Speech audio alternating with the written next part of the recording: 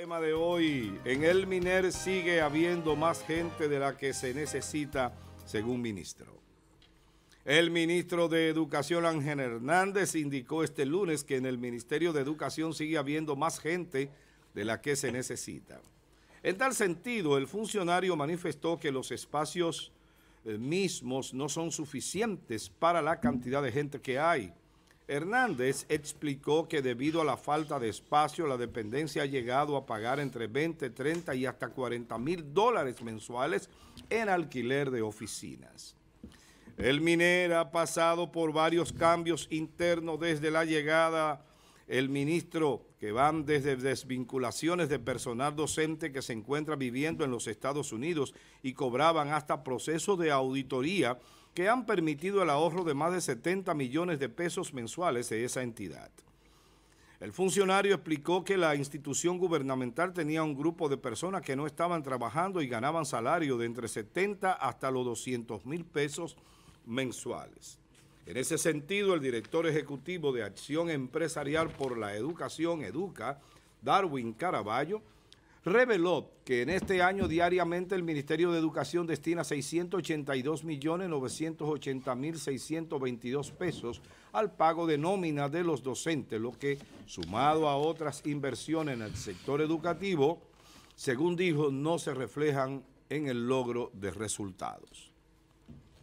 Yo vi una noticia de que este señor había dicho que eran 682 millones diarios. Eso parece un error del periodista que tomó la información.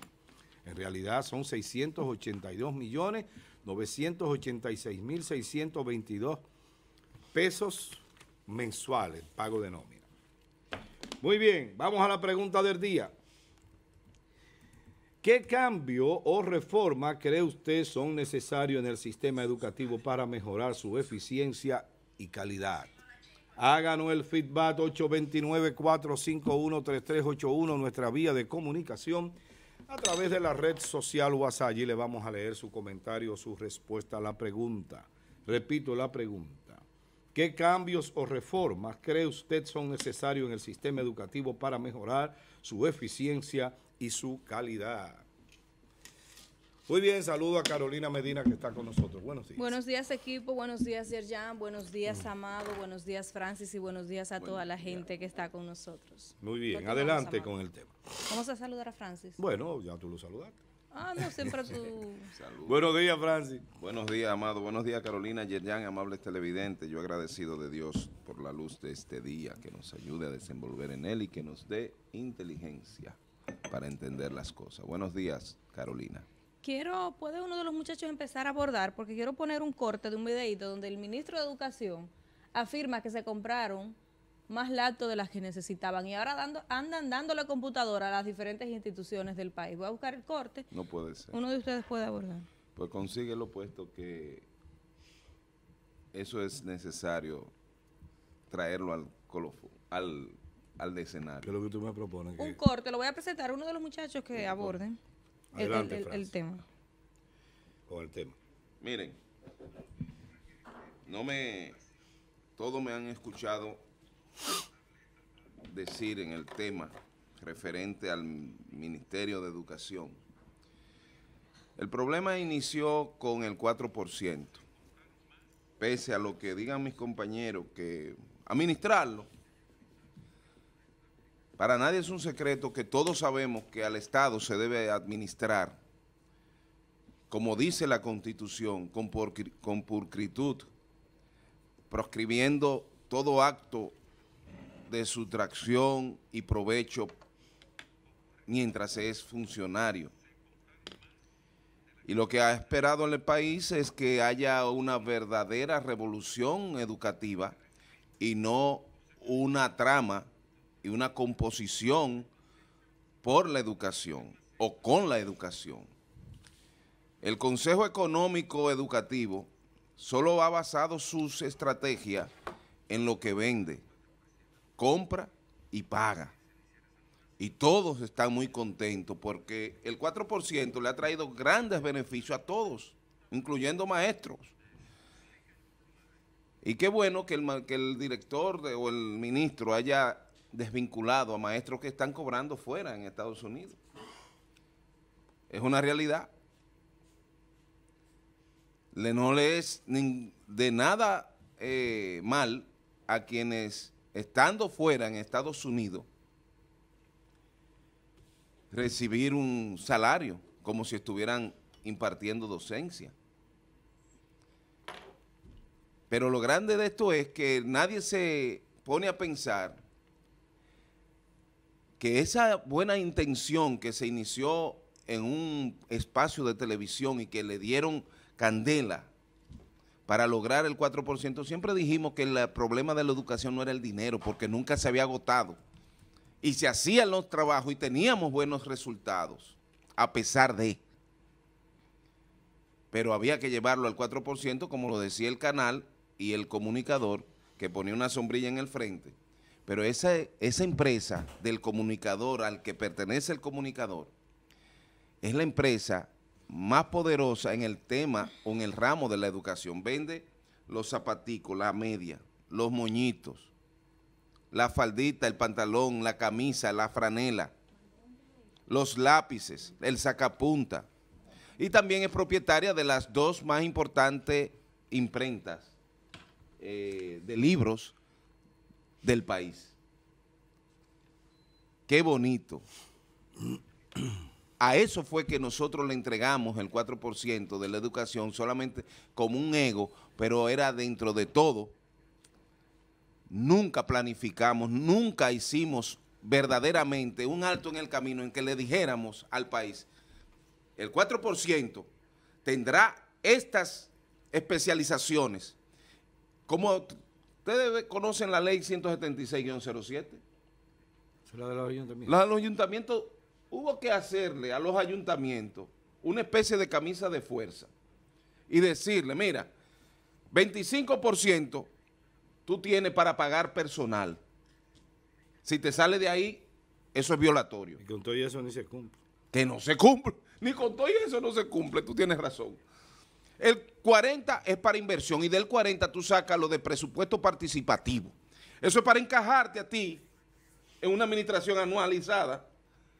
Y el 4% es para educación y género, pero nunca se ha utilizado para lo que es. Bien. Porque esto en nuestro país no es más que un gancho, una especie de mafia que actúa alrededor de la educación. Ok. Gracias, Francis. Carolina. En el chat, muchachos, de Carolina Medina, ahí está. Yo quiero que ustedes escuchen al ministro actual de Educación decir que se compraron más. Vamos a darle audio para que lo, escuchen a él. Latina. Fue un gran esfuerzo. Pero ocurre que ah, se compraron más de las que eran necesarias. Nosotros dejamos sin efecto muchísimos contratos de los que recibimos por cerca de casi un millón de computadoras adicionales y en almacén... ¿Que no se necesitaba? Exacto, en almacén texto de América Latina. Fue un gran esfuerzo. Pero ocurre que ah, se compraron más de las que eran necesarias. Nosotros dejamos sin efecto muchísimos contratos de los que recibimos por cerca de casi un millón de computadoras adicionales y en almacén... ¿Que no se necesitaba? Exacto, en almacén habían otras... Eh, bueno, 300, 400 mil computadoras. Y nosotros lo que hemos estado haciendo es, bueno, en el caso de la UAS, el presidente nos pidió que, que se le hiciera esa donación para los estudiantes del sector público, en este caso eh, la educación o sea, del Estado. más computadoras que estudiantes. Eh, sí, se calculó un poco más, Un poco más. Y entonces esas computadoras le hemos estado... Miren, pero alrededor, pero no solo es eso. La salida del señor Fulcar se debe a cosas como esta. En este proceso de licitación hubieron alrededor de 12 empresas que presentaron mejores ofertas y mejores oportunidades para el Estado, pero se eligieron otra.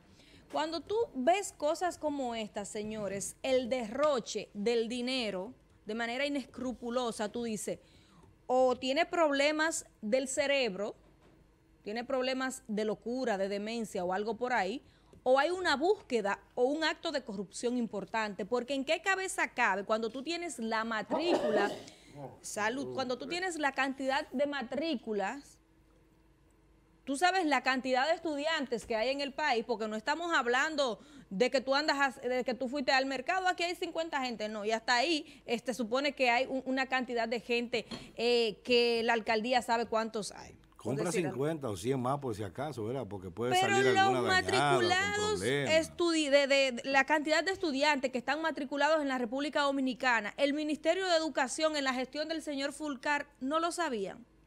Señores, estamos hablando de un millón y pico de computadoras compradas por encima de la realidad Aunque el estudiantil. ministro dice que desechó esos contratos. desechó otros. ya esas, Ah, Estaban te- compradas. tú, tú estás en la UAS y tú debes de saber que en la UAS están regalando 100 mil computadoras Sí. de esas. Sí, sí. Pero también le van a dar a otras instituciones. Es decir, que yo no puedo imaginar o pensar en qué estaba pensando, valga la redundancia, el señor Fulcar con actos tan desastrosos como este. Y estamos citando uno que el ¿Tú te acuerdas ministro que de hizo acompañar Educación... del Consejo Económico de Educación?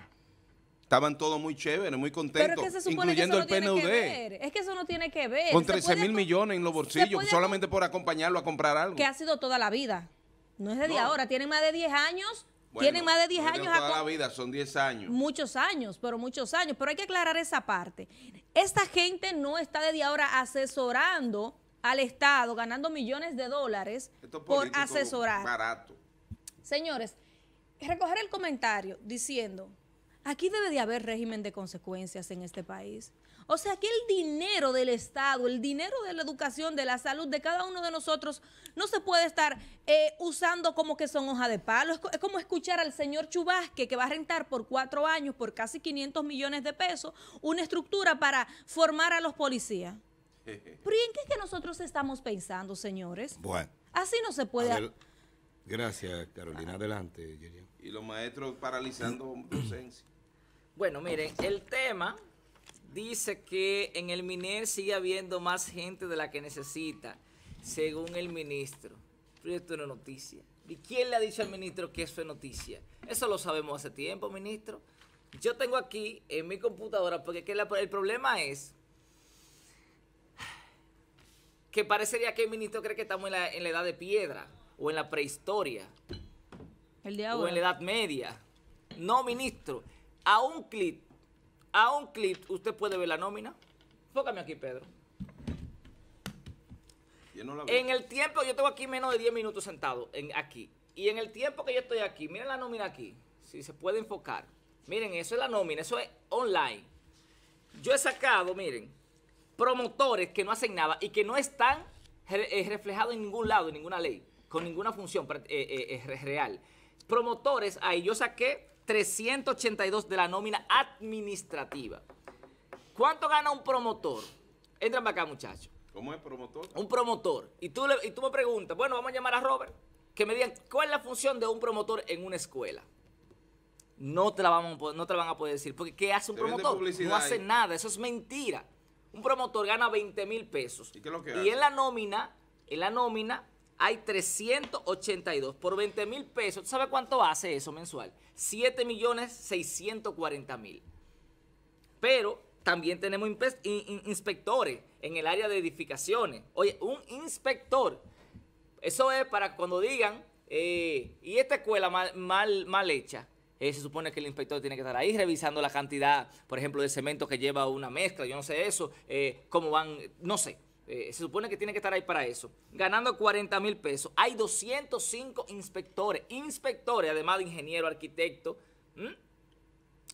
supervisores. ¿Saben cuánto es eso, señores? Eh, 205 eh, eh, inspectores a 40 mil pesos. Hace nada más y nada menos que 8 millones 200 mil pesos. Y usted comienza a sumar ese grupito, ese grupito, ese grupito. Y lo que usted va a encontrar en esos ministerios es desastroso. Pero aquí, aquí hemos estado denunciando que en el Ministerio de Educación, ahí, en la Regional 07, ¿tú sabes lo que hicieron? Que los técnicos que estaban nombrados, ¿verdad? Como no encontraban forma de sacarlo, entonces lo, lo hicieron a un lado y trajeron otros técnicos de manera ilegal y se lo pusieron al lado. Duplicaron una nómina. Sacaron los maestros, especialmente los lo que eran PLDistas que se pasaron al PRM, que le ofrecieron eso, lo sacaron de las escuelas y lo trajeron ahí a, a los distintos distritos. Por eso ¿Que tú- lo hicieron así? Sí. Fácil. No, ya, ya, tú no Fácil. ¿Cuál es la función de, de, de, de Mariel Santos. Santos? Ah, bueno. sí. Asesora. Oye, asesora. Porque no cumplieron con el reglamento correspondiente Para sacarla de ahí, ¿verdad? Sí. Y entonces tenían que poner a otra persona y la pusieron allá como... Así hicieron con los técnicos también. Eso es con la Lamentablemente... resolución 17. La- la- 2017. lamentablemente, que ya hay una, una sentencia eh, a favor de, de los afectados, eh, lamentablemente lo que tenemos aquí es un, una cogioca, en, por lo menos en el Ministerio de Educación, donde se nombra a la gente, ¿verdad? A los canchanchanes, a las queridas, a las esposas de un grupo de tigre que hay en el Ministerio de Educación. Porque hay que decir, no, no se puede decir de otra manera. Un grupo de tigre, hay gente que lo han llevado a ser, a ser técnico de educación sin haber cumplido ni siquiera con- con- con las reglas ni con el protocolo. Nada. De hecho, hay un dirigente del PRM por ahí que tiene choferes que son maestros. Yo lo he denunciado aquí un millón de veces. Por cierto, a- alcalde Alex Tía, quítate ese tipo de lado porque si no te lo, te lo voy a mencionar con nombre y te voy a decir que es un corrupto. Que lo vi en una foto al lado tuyo. Atención, Alex Tías. Mi querido hermano, yo no barajo pleitos. Esa persona, te lo dije una vez y te, te di el nombre, que está a tu lado en las fotografías, es una persona de, de una conducta no correcta para tú presentarlo a tu lado como político decente. Bien. Albert. Gracias. Cercano por ahí. No, porque lo, de, lo, de, lo de ese señor ya es, es Gracias. innombrable. No, no. Gracias, Yerjan. Mira, hay una cosa que yo siempre he dicho, este país es un país de borrego. ¿De qué? De borrego. O Es sea, decir, te- un borreguito. sí, tú sí, lo es Yerjan, lo es... Y Carolina. Algunos nos salimos de la trampa porque podemos ver y, y oler un poco. Mira, yo, yo digo, a veces la gente puede No ver estoy eso. entendiendo. Oye, a veces No, la gente puede ver eso como Ah. pretencioso. Déjalo así. La gente puede ver eso como pretencioso. Yo digo, los penalistas desarrollamos un sexto sentido. Sí, Regularmente cuando vemos una es vaina, verdad. yo no sé si a ti te ha pasado, Sí, te sí, pasa, sí. O, o tú has formado Es normal. Ese, ese, ese olfato. Tú dices, coño, pero aquí tú estás como Sí, es raro". normal. Pero siempre. No es de que, que- no, no, pero aquí tú estás como No, yo raro. siempre dejo todo en ¿Por duda. qué, ¿Por qué cuando la gente salió a protestar o a movilizarse para el 4% no se preguntó, ¿y de dónde salen los cuartos de esto? No eran letreros hechos a mano, eran letreros mandados a hacer a imprenta. ¿Ustedes recuerdan que eran pancartas de... de Claro, era claro. ¿Cómo se llama ese material Mira. que, que, eh, que era como plástico? era Eh, toda una estructura. no, Claro. Era la clase media, era la clase media y la clase media tiene recursos. Bueno, Sí, lo pero- que pasa es que la clase media pertenece a las empresas que Pero se me parece benefician extraño de que eso. Amado esté cambiando el discurso porque él es de los que apuestan a que el dinero no es el problema, sino es el buen uso de los recursos. No, es el estoy de origen. acuerdo. Yo no he dicho que no. Nadie está Yo de cambiado de opinión. él va, Yo él lo que- va a afianzar esa Yo decir, que que, óigame a mí, me está dando la razón. Yo lo que he dicho es, ¿por qué no nos preguntamos quién está detrás de esta Ajá, este asunto? eso es lo que yo Nunca siempre he lo dicho. Carolina, para que tú lo ¿Qué entiendas. fue lo, qué es lo que Pero ha que pasado? Yo, no veo el problema ahí. Lo que pasa es que en este No, bendito espérate, país, por no decir una mala palabra, Dila, aquí dila. no hay una fiscalización de desahógate. los dineros. Pero no claro tiene que ver sí sea el la hay. diablo, Francis. No, no, no la tiene hay. que ver que sea el diablo, que, porque- te- que, que- que haya movilizado eso. Si a, a la educación le dan el 4%, le dan un 50%, ese dinero debe de ser bien administrado. no tiene que ver que sea bien. Lobichini, Sí, que sea Pepín. Corripio, que sea Es que no de Marte, que existe. tiene un extraterrestre. No existe Pero plan. entonces, entonces el problema no es el dinero, el problema Claro son las que sí. benditas autoridades dominicanas. sí. Dejen hablar Por. Dios. Bueno. Adelante. Dale Amado. más, porque no te van a dejar hablar esta gente. Mire, yo lo que digo es, Sí mismo, riégate, Carolina. lo que, lo que que los está- pobres cuartos tienen que ver. los que estaban detrás de las sombrillas amarillas, Ahí es que está, ahí es que empieza el problema. sabían, Pero- sabían, ¿A qué iban? conociendo a esta sociedad, sabían que lo que está pasando iba a pasar. Y eso finalmente se, se computaba en sonido de sus cajas registradoras. Es decir, íbamos a tener una ma- dígale que ellos mismos upaban Sí, a sí. que los directores o los ministros se convirtieran en candidatos a la presidencia, porque le dejaban también su borona Entonces, sin en- coger un peso. En definitiva, yo pienso, nosotros tenemos una, una situación sumamente grave y todo se resume en el tema de las consecuencias que Carolina mencionó hace un momento. Ustedes saben lo que hizo Jean Alain cuando estaba en la Procuraduría General, que nombró a gente, a mucha gente, en todo el país como enlace entre la Procuraduría y la Fiscalía de los Pueblos. Óyeme, mi experiencia en el Ministerio Público es la siguiente. Nunca ha habido un pero para que un fiscal se presente a la Procuraduría y diga que quiere hablar con el procurador. Tú no necesitas enlaces entonces. ¿Para qué? Pero aquí hubo gente. Hay, hay un muchacho ahí en la UA que se llama Mi Danel. Mi- yo me mi sorprendí Danel, cuando yo supe eso. mi Danel, que ganaba 50 un sueldo. 50 50 mil mil ¿Es pesos. abogado? ¿Qué abogado va a ser? ¿Era estudiante en ese momento? Era estudiante. ¿Y qué es lo que era? Y creo que no estudiaba Derecho. Él era, él era enlace entre... Mi amigo, el- mi amigo, eh, mi Danel, muy, muy decente, pero tenía un puesto muy raro. Enlace entre la Fiscalía de San Francisco y el O sea, tu procurador. tenía que solicitarle ese enlace de que hablar. ¿Qué, qué Claro. apellido es? Coño, no, no me llamó a mí como por lo menos. Rodríguez. Señores, ¿cuál es el problema? Ni Jean Alain tenía temor de que la cosa se le revirtiera y todas esas malas acciones que hizo Sí. iba a tener que pagarla. Claro, le está pagando en la justicia, pero le está pagando porque está en la oposición. Si fuera como Fulcar, que está en el poder, no la estuviera pagando como está pasando con Fulcar. Porque eso que denuncia el ministro es para abrir una investigación y llevárselo a la chirola. Pero eso no va a pasar, por lo menos mientras Binader esté ahí. Entonces, ¿qué fue lo que le pasó a Fulcar? Él no, le dio, no tenía una enfermedad y que casi terminar, pues se desapareció. por No, meses, eso fue tres para meses, y enfriarlo. Nadie Ya, sabía Eso de él. fue Ya para está Ya ahí, enfriar. muy apareció, bien. ya apareció. Y ya se sanó. Ya eso fue para enfriarlo. Bueno, el asunto, el asunto está en eso. Todo al final se resume en una sola expresión. Falta de de ¿Y el. Ministerio Público entonces? ¿Eh? El Ministerio Público, la corrupción, la, el combate de a la estar- corrupción. No, ese muchacho está muy ocupado con, Deberían de- corales. Coral.